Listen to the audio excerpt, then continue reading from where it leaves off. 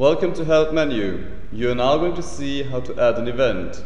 In order to start, please click at the plus symbol at the bottom of the box.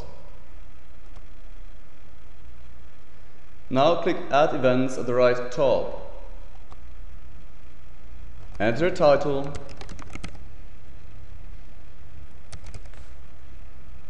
select a date, add a time,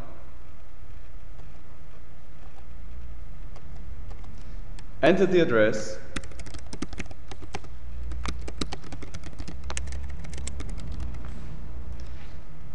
only enter street name and postal codes so that if people click on it afterwards, we'll be able to open the address in Google Maps.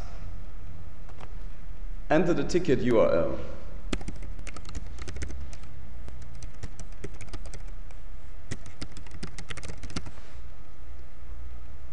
Enter description.